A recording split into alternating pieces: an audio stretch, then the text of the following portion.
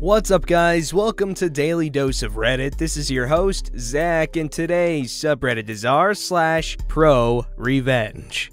Alright, this story's called I Had an Office Food Thief, so I bought a nanny cam. A couple of things about me that made it really suck to have a food thief. I have a lot of food allergies, so I can't just get lunch at the cafeteria or at a nearby restaurant. Ooh. I have a new baby who I'm breastfeeding and who I pump for when I'm at work. You know how hungry pregnant people are? Yeah, the caloric requirement for breastfeeding is 1 to 200 calories higher. I am always hungry. Because I have a new baby, half the time I don't manage to show up at work with a lunch. I either run out of time to pack one, or if I did remember, I leave it on the counter. My solution to all of this was to leave lots of non-perishable snacks in my office, and also a lot of candy, because I also have a three-year-old, and therefore work is the only place I can shovel Skittles into my mouth without a little hand extending into my field of vision and a little voice saying, please.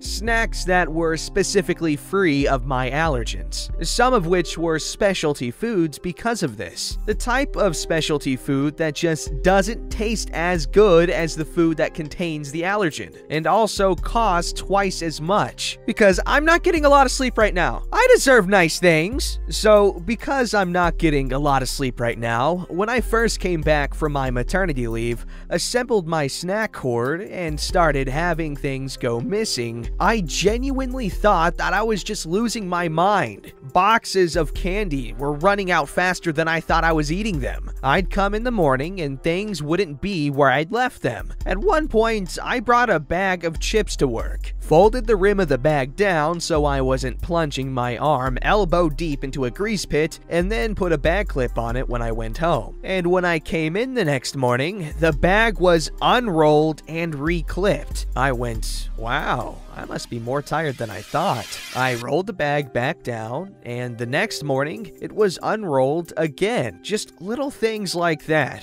almost every day, that made me go, wow, the post baby brain is worse than I thought.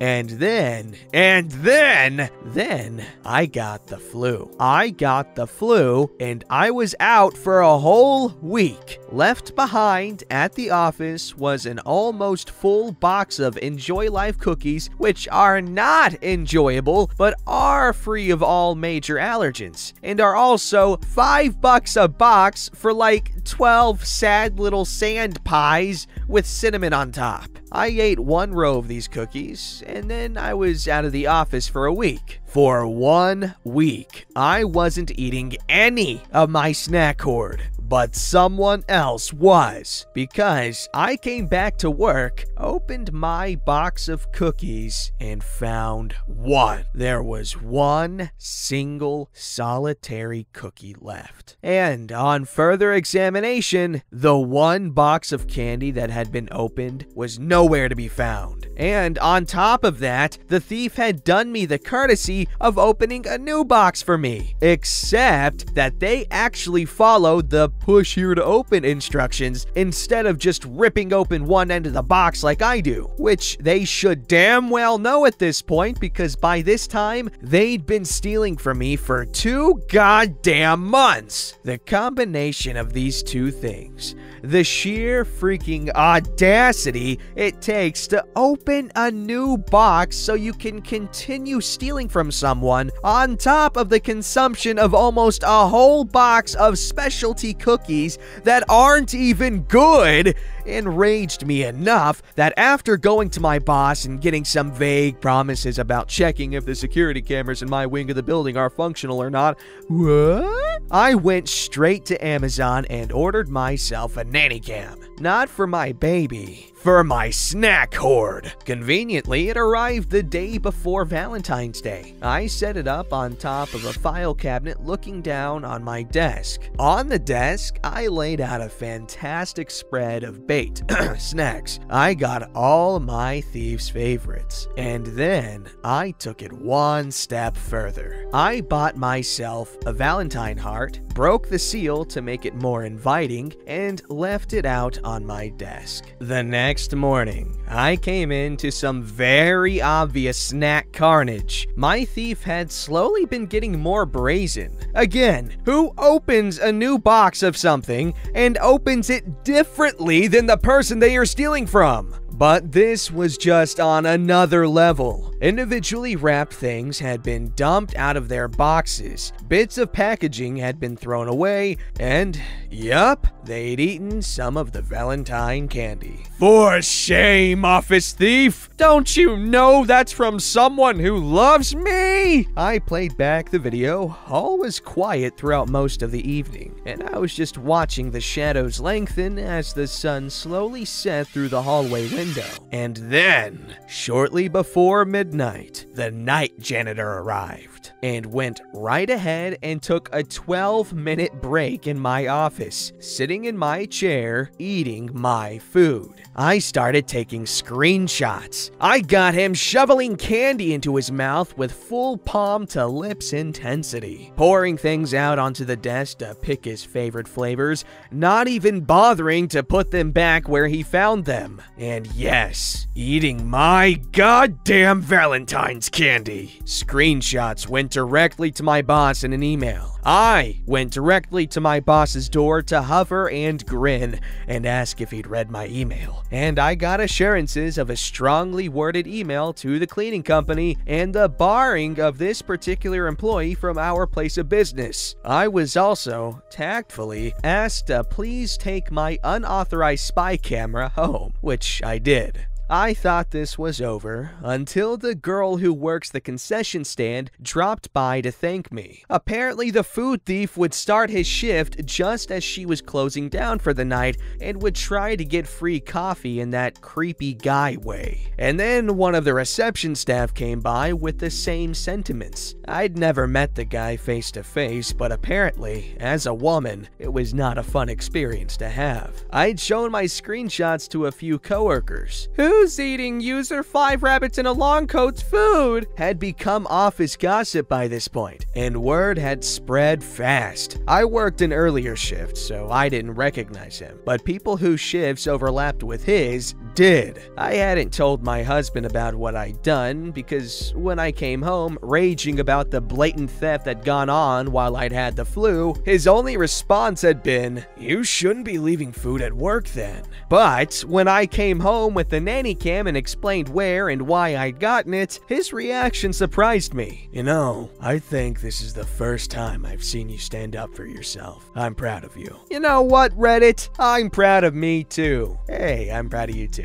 That was some sweet justice using that nanny cam and just catching him in the act. Ah, I would I would have been filled with just complete rage at that point, and I would want to assault a night janitor at his place of living because that is what happens when you steal my food. However, OP did the right thing and just got him fired because that guy's creepy and he doesn't deserve to, to work places like that with people. What a jerk. This story's called I Destroyed a Brewery. Nearly 20 years ago, I was a brewer at a brew pub. The owner was a complete lunatic and an utter a-hole. Before I was hired, he had already purchased the brewery equipment used from a closed microbrewery brewery. Brewery. Problem is, it was literally four times larger than it needed to be for the size of the place. And to top it off, he was selling big three beers too. And it was a Pugsley system. Brewers will know. But I made it work. Even got the stupid Ringwood yeast to behave. But I only need to brew about three or four times a month. I have worked at places we brewed that much a week. So I wasn't needed anywhere near 40 40 hours a week, and I was salaried. So he decided I needed to work night manager at least two nights a week to fill out my hours. That was fine, it was an easy gig. After our first year, he advertised a huge anniversary event with specials on food and drink, food specials, commercial beer specials, and didn't even mention that we made our own, much less put anything on special. Idiot. Not too long after, I got my first vacation in over a year, and he was mad at me for insisting. But life was stressful, not least of which because my mom was in hospice, stage 4 cancer, but her condition was such that she said my wife and I should go. She'll be fine. So we went camping for a week. The day before our trip was to end, we got word she had died two days earlier. My family didn't know how to reach us, only she did. We rushed home, six hour drive, and on the way, I called my boss and told him what had happened, and that I probably would not be in on Monday as planned. This was Saturday. I found out later from a bartender that he then complained at the chef that I was probably gonna want more time off. I did, in fact, take Monday off, but I went in on Tuesday to do my night manager shift. Now, my mom's wishes were to be cremated with no embalming, so by the time I got home, she was already cremated. So the memorial service was planned for two weeks later, right before Labor Day weekend. There was to be a memorial service Thursday and the interment for the family Friday. So I planned and made sure that the servers were full and I wouldn't need to brew for at least a week. That Wednesday, the boss comes and tells me he wants me to work night shift on Thursday and Friday, normally I did Tuesday and Wednesday nights, to make up for the time off I'd taken to help my dad out. He wasn't handling it well. He wanted me to come in after my mom's funeral. I flatly refused, at which point he said fine, but I'd have to work a double shift Saturday then. I nearly lost it. I walked away, and after I cooled off, I went back and told him I was no longer going to do the manager shifts, and that I wanted to switch to hourly for brewery work only. He was angry, but stuck. He needed me in the brewery. Things started calming down, but after a few weeks, I noticed that my paychecks were for less than I anticipated. I hadn't been tracking my clock in, clock out very closely because prior to this, I only clocked in and out so I was logged in to do manager functions. But I happened to have a couple of slips in my wallet, and because I still had manager access, discovered he had been altering my hours, eventually cheating me out of 20 hours in just 6 weeks. And that's when I hatched my plan. I was done with this a-hole. Remember that Ringwood yeast? Well, in a brewery, hey, you harvest yeast from a fermenting batch to use to brew a later one. And since we were slow, it often had to be stored for a while before it got used. But you had to use it within 30 days. 21 is better, or it goes sour and starts dying. Normally, I would take other steps to ensure it stayed clean and healthy, but not on the last batch I harvested. It just went into the cold room and stayed there. I stopped going in very often, just logging tank levels to make sure nothing ran out and made him suspicious. I would even go in to make sure he wasn't in that day, and later message him that I'd brewed. I hadn't, and waited. On day 45, after I got the check for the last hours I worked, I overnighted my keys in with a resignation letter. He called me the next day, screaming. I told him I knew what he'd done, and I wouldn't be back. I don't know what he looked like when he went into the brewery cellar and discovered he had empty fermenters, nearly empty serving tanks, dead yeast, and almost no grain. Pity, really. After that, he tried to hire my former assistant,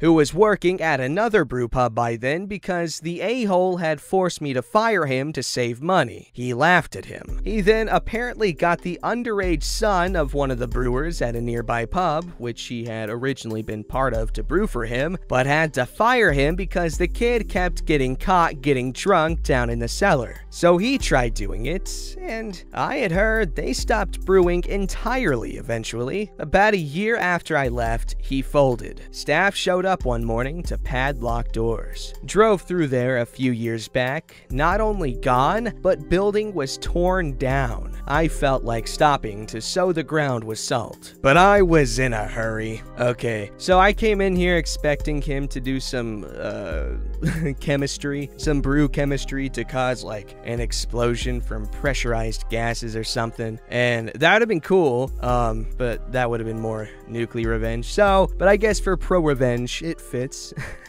But yeah, that's a really cool story. Glad you uh, made him realize that he was an idiot and a jerk. A jerk idiot. Alright, this story's called Killed a Tow Company with One Simple Phone Call. I killed an entire tow company with one phone call with a drone strike? On mobile, so bear with me. Several years back, I went to work for a towing company. It's about all I know how to do other than paint cars, which is drastically affecting my health. The pay was pretty decent, but we had to share trucks, and the boss felt that he knew where we needed to sit in order to get the best calls. This is important for later. Several months in, I realized that I was not making the type of money that I should be making. So I took the opportunity while I was sitting in a parking lot one evening to start researching the laws pertaining to employees in similar similar positions. He was kind of a butthole, and the trucks had transponders so that he could see if we had them idling with the air conditioner on and on a hot day, or idling with the heat on on a cold day. He was always calling and complaining about something if the wheels were not turning.